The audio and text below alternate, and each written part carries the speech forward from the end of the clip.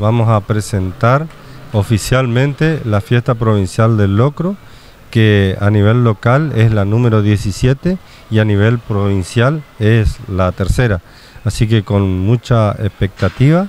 para que el 13 y el 14 de julio se haga esta gran fiesta que venimos los cruzucateños promocionando, apoyando desde el municipio eh, hace un tiempo y la verdad que eh, viene bien y ahora eh, por supuesto preparándonos para que esto sea un gran evento. En este caso, una articulación con el gobierno provincial, Ministerio de Turismo para asegurar el éxito, ¿no? Sí, por supuesto, para nosotros es importante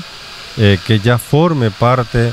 de la agenda cultural de la provincia de Corrientes, la fiesta del locro. Por eso también hoy nos va a acompañar la ministra eh, de Turismo, Alejandra Elisiri. Eh, también estamos trabajando siempre en sintonía para que Cursucatía también eh, sea parte del, del turismo correntino.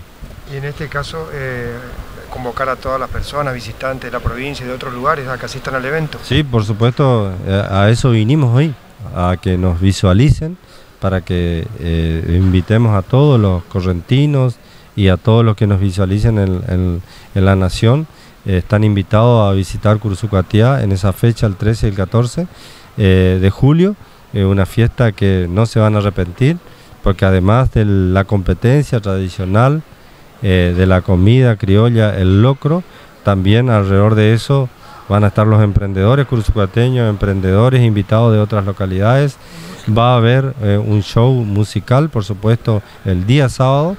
el día sábado a partir de las 18 horas, donde también vamos a, dar el inicio eh, del, festival,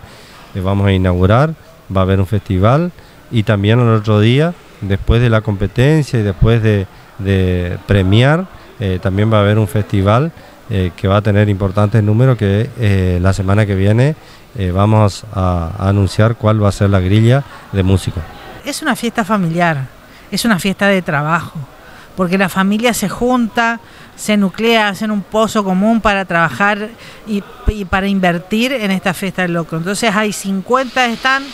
con 50 familias cursucuateñas, algunas son de Corrientes, otros son de Mocoretá, de Mercedes, de Paso los Libres que vienen a Curuzú para competir por el mejor locro. Y son grupos de más de 15 personas en cada stand que están trabajando. Es un, es un evento que, que, tiene un, un, virtuosismo económico increíble, porque es recursos que quedan en nuestra ciudad, porque se compran las carnicerías, porque se compra en, los, en el frigorífico, en los supermercados, y eso todo queda en la familia de Cruzú. Pero